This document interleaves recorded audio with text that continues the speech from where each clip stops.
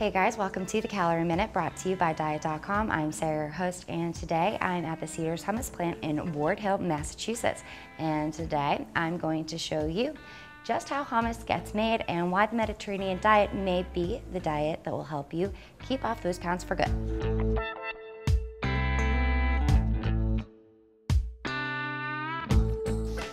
Welcome to Cedars. This is the first part of the tour. Chickpeas is one of the is the main ingredient in hummus. Have you ever seen a chickpea before? They're about seven millimeters, I believe. All right, so what happens is the hopper gets filled up with chickpeas. It goes through the washing machine first. But basically what's gonna happen, it's gonna go down a conveyor, it's gonna shake out any uh, uh, twigs or anything because they come from the ground. They fall into this giant washing machine, which the best way to describe it is like a jacuzzi or whirlpool. They fill up these giant tubs with water. So the chickpeas are covered in water. And for a predetermined amount of time, they will sit and soak.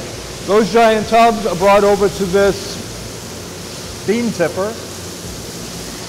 We've gone from a tiny uncooked chickpea to an uncooked expanded chickpea. The uncooked chickpeas are put onto rack and they're put into the cooker. So we've gone from uncooked to soaked to cooked. You can see the difference. The chickpeas come out of the retort, they get tipped over into another hopper and up a, up a conveyor belt into another hopper. This is going to grind it all up, mush it up.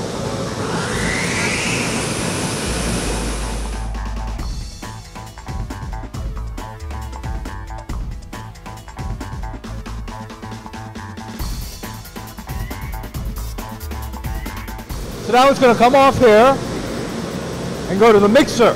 Can't really get too close, but if, can you see that?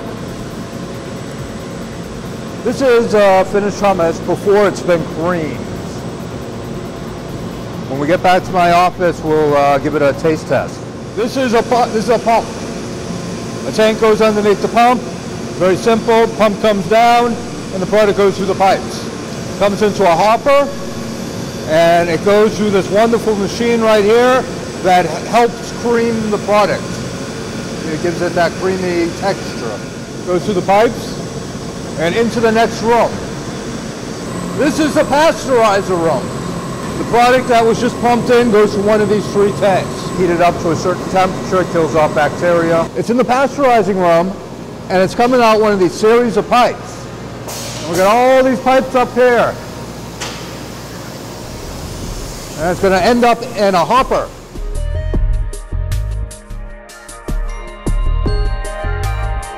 So now it's in a cup and it's going down a conveyor belt. Now we're going to go to packaging. The product is going to come off the filler down the conveyor through a metal detector. It's going to get labeled.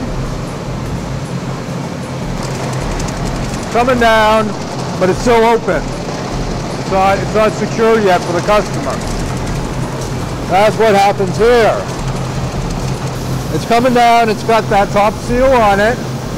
It's going to go through an uh, heat tunnel.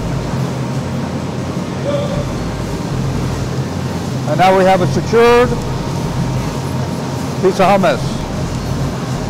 Depending on what the order calls for, we have guys down here that make sure everything is correct, that the ring seal's on, it's on correctly, that it has the right uh, amount of ink on it.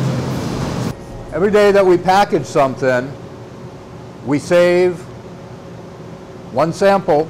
If a customer should call, or a or, or, the customer being in the store should call and say there is a problem with the October 30th uh, hummus it's blowing up or it's sour or uh, it doesn't taste right.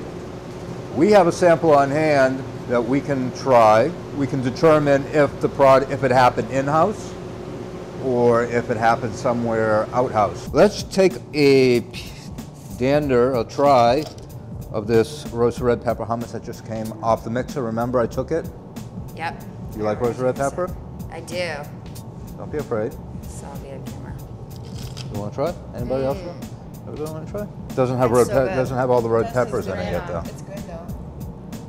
It's delicious though. Even the cameraman gets to try. Mm-hmm.